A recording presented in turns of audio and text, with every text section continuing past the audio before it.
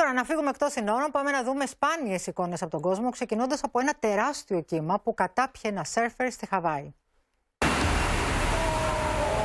Windsurfer down, windsurfer down.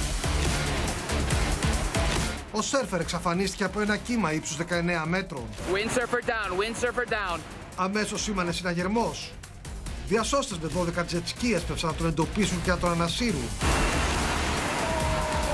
Ο Ράφαελ έμεινε κάτω από το νερό για ένα λεπτό.